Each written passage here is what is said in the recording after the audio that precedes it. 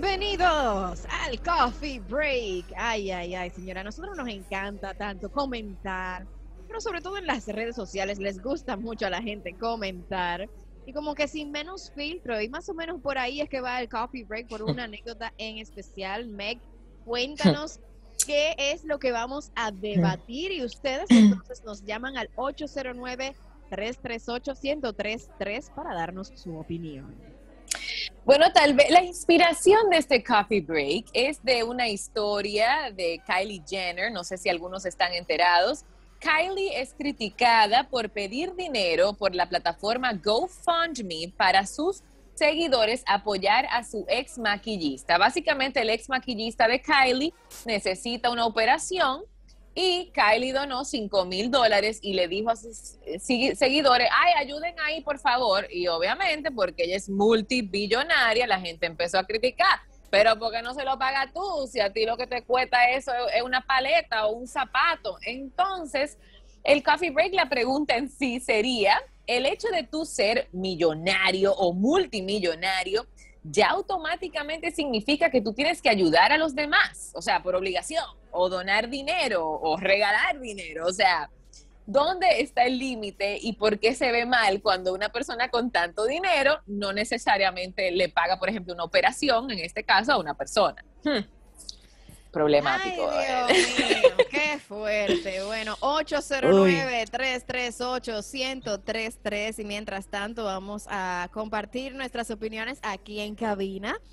Eh, mira, ah. eh, eh, desde mi perspectiva, el dinero yo les resto tan poca importancia que en mi caso, si yo fuera millonaria, yo pudiera, tuviera la oportunidad de ayudar a alguien a quien yo conozco, pero sobre todo a alguien especial para mí. Óyeme, yo no lo pienso dos veces y yo no voy a estar saliendo a pedir limosna si yo lo tengo, yo voy a ayudarlo y lo voy a dar.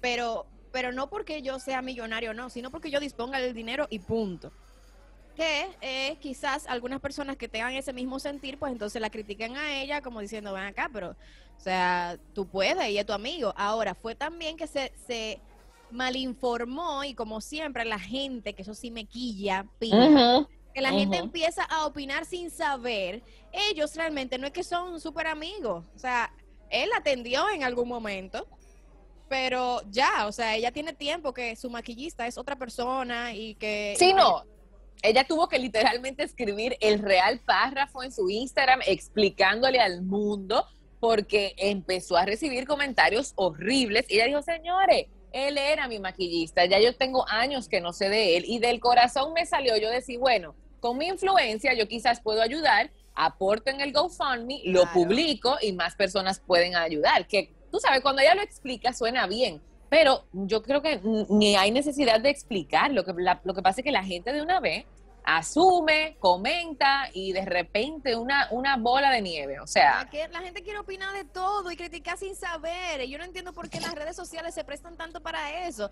Si se la encuentran de frente, seguramente lo que van a querer es tomarse una foto con ella. No le van a decir todo lo que piensan. Pero cuando es a través de las redes, ahí vomitan todo lo que se les ocurre, eh, eh, arremetiendo en contra de la persona. Y mira, que tampoco es que ya sea una santa de mi devoción, pero ¿quién soy yo para estar criticando su vida? Para empezar, ¿qué me interesa a mí su vida? Como que, ah, tú decides ponerla, pues perfecto, bien por ti, que te vaya súper. Eh, pero de ahí para allá, yo tener esa potestad de entonces venir a, a, expresar todo lo que yo quiero contra esa persona sin ni siquiera saber, sin que sea nada mío, con la típica excusa de, bueno, como es figura pública, ella tiene que aguantarse todo eso. Bueno, óyeme, está bien, es verdad, se lo tiene que aguantar, pero eso significa que nosotros tengamos el derecho de arremeter. O sea, es como que, oh. de verdad, me quilla eso. Llamadita. A ver. Hello. Hello. Se escucha. Hello. Uh oh. ¿Problemas técnicos? ¿Problemas técnicos? ¿No? ¿Se cayó la llamada o, o sigue al aire? ¿No se escucha? Hello. Hello. Sí, yeah. Buenas, ¿con quién hablamos? ¿De ¿Con quién, perdón? El Fruity. De Juan. Eh, no, se escucha bien. se escucha un poco extraño porque está como como como encajonado así. ¿Con quién hablas? De Juan. ¿Eh? Ay, no De se Juan. escucha. No, no sé, eso no se No se escucha. No se- Sepárate un poco del, del auricular, De del micrófono. No, no, vamos a, a cerrar No, esa vamos llamada. para próxima llamada 809-338-1033. No se estaba entendiendo la llamada anterior. Sorry, eh, pero también cualquier cosa pueden mandarnos una nota de voz a ese mismo número por WhatsApp o escribirnos un mensajito y lo vamos a leer por aquí. Vamos a ver otra llamada. Buen día, chicas, ¿cómo están? Buen Hello. día. Les hablo el fruto fantástico. Ahora sí, el Ahora fruti. sí el fruti. El fruti in the house, señores. By the way, estamos hablando de que si tú eres multimillonario, ya por default o obligación tienes que ayudar a los demás. Fruti, ¿qué tú opinas de esto? Es un poquito complicado porque es que la gente se ahoga en un vaso de agua. Y yo te apuesto que los mismos que la están criticando son los mismos seguidores de ella, porque a mí no me interesa, yo ni sabía de eso. Pero es como ustedes dicen, es que si usted la va a ayudar, ayúdala ya. Si no, no la critique y siga para adelante con su vida. Meta mano usted por ahí, no tiene que estar criticando a gente. Exacto. Mm. Ay, sí, sí, señora. Yo no entiendo. Eso es casi como una profesión ahora mismo con las redes sociales. Sí. Criticador de vidas ajenas en redes sociales. O sea, la gente se, se da esa libertad que, que yo no entiendo. Es que una plataforma Sí, ¿no? para tu, tu opinión libre y, y la gente como que se la dan sin pedírsela así, ah, no, mira, yo pienso que entonces no se lo están pidiendo, entonces siga con No, su vida y el- deje y de estar... El ¿Sí? famoso cancel culture que me tiene cansada ya, que la gente quiere literalmente a cancelar las personas buscando Gracias, Fruti. por ojo, gracias Fruti, por ojo, nariz, razones para que una persona pueda ser tumbada de la plataforma, ¿tú entiendes? Buscando cosas de hace 10 años, óyeme, tratando de investigadores profesionales para cancelar a, a una persona, o sea, ¿qué es esto? Además, una persona con mucho dinero, de verdad, el dinero no es el que hace la diferencia. La persona es quien determina y su vida, que por cierto usted no la conoce del todo, es lo que determina las acciones que vaya a tomar con ese dinero o no. O sea, el dinero no es lo que hace a la gente. Ustedes entienden que tener dinero significa que tiene que hacer esto, esto, aquello, tiene que ayudar por obligación, tiene que dar limona, tiene que qué sé yo cuánto, eh, no, no puede sufrir, no, no, o sea, porque su vida está resuelta. No, señores, el dinero no hace a la gente. Ustedes están muy equivocados. Eh, eh, la sociedad en su mayoría piensa que eh, llenarse, forrarse de dinero es lo que va a hacerle valer a usted. No. No. Usted vale por lo que usted es y por, por, por la situación que tiene en su vida, por, por cómo maneja sus relaciones sociales, por el dinero no tiene nada que ver. Quítenlo del medio. Ay, sí. Ahora, que usted con un buen corazón, que usted con una buena intención y precisamente desvalorizando un poco la, la, la- esa importancia y ese, ese pedestal en el que han puesto el dinero, tome su decisión de ayudar o no, pues perfecto, bien. Lo, que- lo que Ujú. sea que decida, está bien, al final son su cuarto. Eso es, al final son su cuarto. Tenemos un WhatsApp 809-338-1033. A ver, a ver, ¿qué dicen? Yo lo que entiendo que eh, la pandemia como que puso mucha gente vaga y así mismo andan.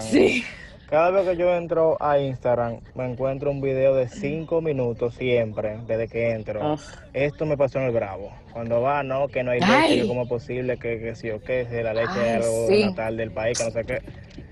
La gente como que está hablando mucho, no, no encuentra qué hacer. Sí.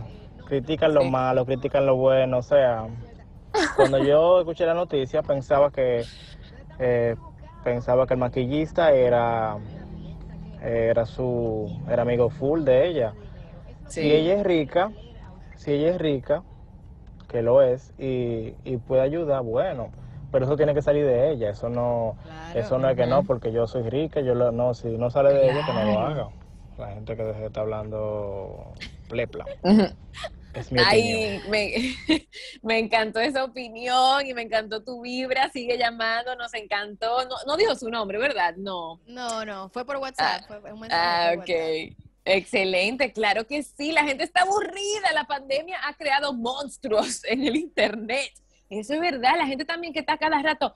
Que miren qué mal servicio me dieron en tal sitio. Que mi- y públicamente, mi hermano, dime, ¿qué uno gana con eso? Wow. O sea, que te escuchen. O sea, como que no. El nombre. Es la Sí. forma. Él dio el nombre ahora, Dennis. Denis. Denis, gracias por ese comentario tan, tan preciso. La verdad que es así. Y sí, señores, yo creo que totalmente yo diría que la, la pandemia fue un, un, empuje a algo que como quiera iba a venir. O sea, la gente cada vez está volcando más a opinar en las redes sociales como sin límites y también a, a que las redes sociales realmente formen parte de su vida, o mejor dicho, que su vida forme parte de las redes sociales porque ella ya se está traspolando como a la inversa. Ahora la vida de la gente es una producción. Ahora la gente cuando va a pensar en algún evento importante, antes de pensar en, su propio disfrute, piensa en cómo se va a ver en las redes sociales. No, yo tengo que comprar tal cosa, yo tengo que ponerme tal cosa, yo no puedo repetir este vestido porque todo eso va a ir a las redes sociales. O sea, tú piensas a nivel de producción de lo que tú vas a mostrar y no a nivel de lo que tú quieres disfrutar, que cuando viene a ver no necesita tanta parafernalia, pero lo estás haciendo porque ahora por las redes sociales. O sea, eso es uno de los detalles. Pero aparte de eso, de lo que estamos hablando, es de ese permiso que se han dado, de estar opinando sin saber. Y, me da pena por los, las personas famosas que lo único que quieren es, eh, bueno, eh, exponer su trabajo, eh, ayudar en algunas ocasiones, como en este caso, ya la única intención de ese posteo era poder ayudar porque la verdad es que ella tiene un alcance grandísimo. Y el, ella postear algo que, por cierto, una, una publicación de ella vale millones. Eso, ese fue un gran aporte para que otras personas entonces se motiven a ayudar en, la causa. Entonces, mi hermano, por favor, ubíquese. De verdad, Me, molesta muchísimo cómo la gente se, se, se, desubica y se da permisos que no, no le corresponden. Ay, sí, señores, vamos a, cambiar ese hate por amor, vamos a tratar de pensar antes de tú hacer cualquier comentario. Piensa, para y medita, o sea, un clásico, piensa, para y medita qué estás proyectando tú, que, cómo tu energía está afectando al resto del mundo, incluyéndote a ti. O sea, eh, oye, todo el mundo con su granito de arena podemos llegar muy lejos con positividad y ese tipo de cosas. Así que si no tienes algo bonito de decir, no lo diga mejor. Y lo otro es, seamos inteligentes, no seamos títeres. Señores, muchos de los influencers también hacen publicaciones para provocar esa clase de comentarios y lo logran.